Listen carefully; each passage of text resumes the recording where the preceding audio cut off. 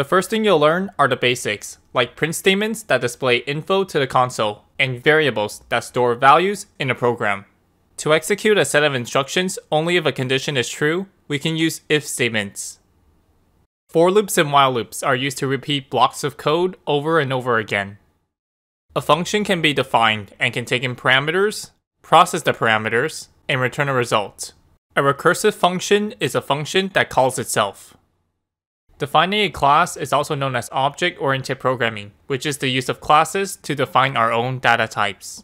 Data structures are really important because they are used to store and organize data.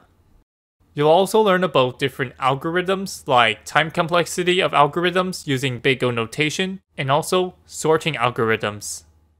That's it for year 1, now on to year 2. Discrete math is an essential course in computer science. You will start with propositional logic, which are true or false statements. Next, you'll study proofs to show that a statement is true.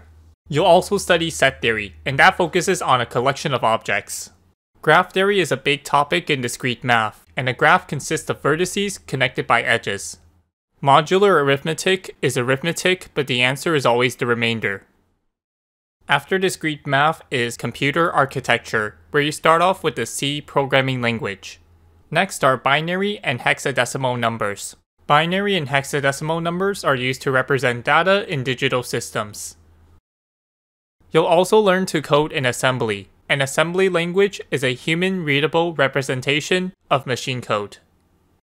To perform operations based on current input values, we can use combinatorial blocks.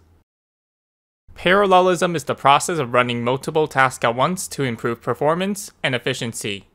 Thanks for watching and follow for more.